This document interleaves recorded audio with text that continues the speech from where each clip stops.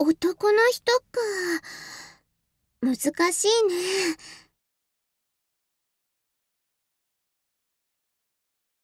うん。考えたこともなかったし、考えるのに時間がかかってごめんね。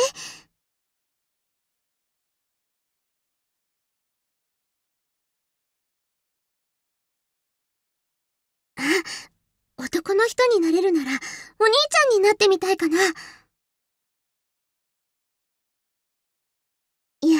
お兄ちゃんになってみたら、お兄ちゃんが普段何を考えてるとかが簡単にわかるかなって。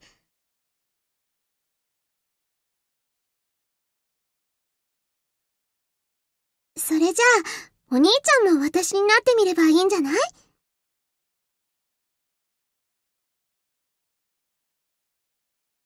でしょ？だから交換できたらいいのに。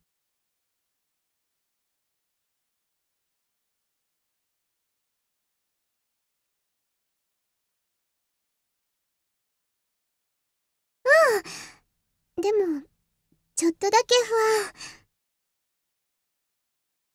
不安。だって、お兄ちゃんが私の体で何をするか不安で。